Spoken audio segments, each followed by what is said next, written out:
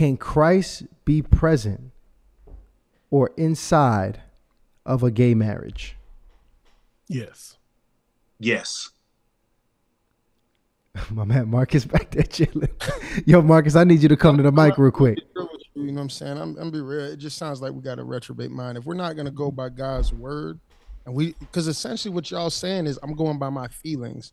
What I, No, what I, the Bible says you're a new creature when you come into Christ. I die to myself. I take up my cross. I go against those feelings. You're not, you haven't justified it with the word of God. You say you've studied science and you've studied biology. You've studied all this stuff. God is the final authority on everything. So it just sounds like you're going to do what you want to do and you're justifying, you know, why you feel the way that you feel. And as I said, the Bible says there is a way that seemeth right to a man, but the end of that way is death. I have to bring my mind under subjection with the word of God, which is the final authority. So this conversation is really not going to go anywhere if the word of God is not going to be the final authority. You mean your interpretation of Your the scriptures? That- That's, that's what you're saying. you can you can you can say that like that's fine we're gonna you know there's people can justify uh whatever lifestyle they want to do by twisting scripture and everything like that but it's clear you know what i'm saying like Well, see, let me let me.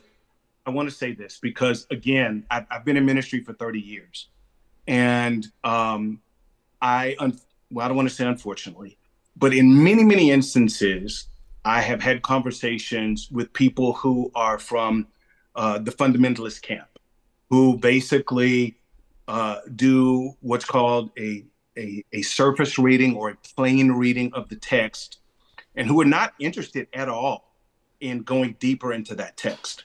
Uh, they read the words on the page, they say that is the word of God, and then they use that as a standard or a bellwether uh, to not only try to live their lives, but to apply that to other people's lives. And again, I think that is dangerous. When we get to the place where we are not willing, first of all, to listen to other people's lived experiences, because I want to make sure that you understand I know that I'm a Christian. I'm clear about that. I want you to understand that. And see, you're you're you're shaking your head. And see, based upon your opinion is why you're shaking your head. But the truth is, is that none of us get to speak specifically to somebody else's connection with God. We don't have that right. Okay.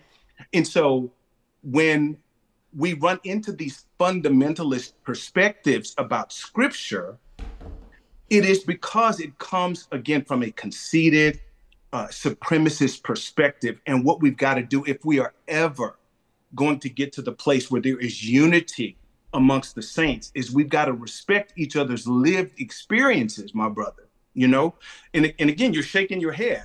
I'm trying to hear you, but it's like you got a force field of you're not even trying to hear. Called people truth.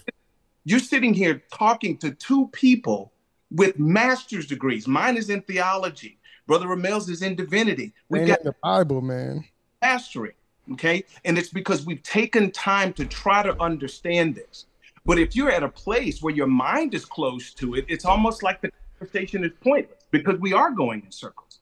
And so I believe we were brought to this platform so that we could have conversations about these scriptures, so that we could try and hear one another, uh, and not that we could take a supremacist position over one another. And so I want to say to you, I came here with every intention of respecting you, and and I and I do as a man, as a as a brother in the ministry, I do respect you. But one of the things that I want to make sure that you do as well is hear that it is possible that there are people who have lived experiences that are not like yours that are just as valid as yours. You got to hear that. The bible says the carnal man cannot receive the thing the things of god. They're foolishness to him. So you're talking about master's degrees a lot of times tonight you guys are talking about feelings what you identify what you think. And so you know what i'm saying? That that's carnality. That's going off feelings. That's going off emotion that's why i say where do we draw the line? If i feel if i feel like man i'm in the wrong body i need to chop off my penis that doesn't make it right. Yeah. I want to challenge study my that's all I want to do is just challenge you to study. And let, let me offer that uh, all of these pat there are so many passages that you referenced that I could easily have thrown out at you. Because I could easily say, if you think that being gay is a sin, that is so that is carnal minded because you are opening up the Bible and reading it at face value. You are not studying it. You are not going to the Greek. You are not going to the Hebrew. You are not considering the context. You are twisting Jesus's words when he wasn't even talking about marriage and divorce. That is so natural thinking. That is so carnal. That is so surface level. I could easily throw out all of those accusations, but at the end of the day, they're meaningless because I'm just taking these texts and and and and using them in order to uh, uh, gin up some kind of confidence in the position that I'm putting forward when those same texts can be used to try to justify pretty much any position. If you want to have a conversation about homosexuality, then let's actually look at them scriptures that actually seem to be seem to be addressing the issue of homosexuality. But to go to 1 Corinthians 2 and talk about the mind of Christ, anybody can say that the mind of Christ aligns with their particular interpretation. And that's where that whole idea of arrogant, theological arrogance comes in the idea that my interpretation is the right interpretation. And I, again, I, I asked you this question rhetorically earlier, but I almost want to ask you uh, literally.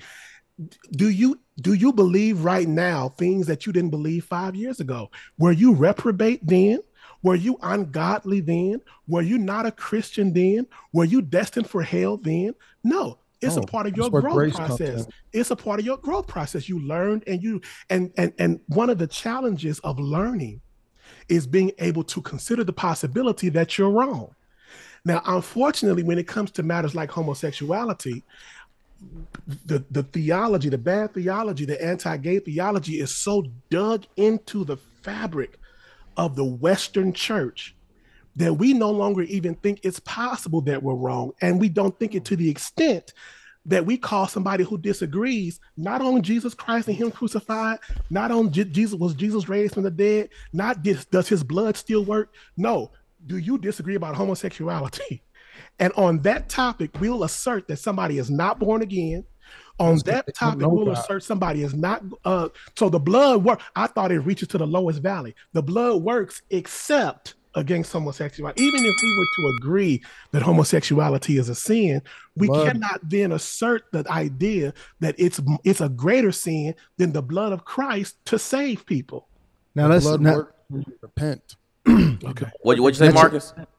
The blood works when you repent. If a muslim's going to be a muslim they got to follow the text of the Quran. How is it that we we're going to sit here and say we're Christians, but we don't need to follow the text? Repent of Bible, what? The Bible is Repent clear. Of what? The Bible clear. The Bible was clear that it was vow. The uh, the Bible talks about that it's not natural. We read all the verses. You're you're throwing. Oh, that's not what it really means. It's so clear. It doesn't it doesn't say that nowhere about same sex, but it makes a clear point to say that about same sex, not the the opposite sex. It's so clear. So many verses, and you're saying all of these verses multiple verses. That's not what it really means. If I'm gonna be a devout Muslim, I have to follow the Quran. You're pretty much essentially saying that I'm a Christian, but I don't gotta follow the text. That's what you're saying. That's now check this out. Hold on, hold on, guys.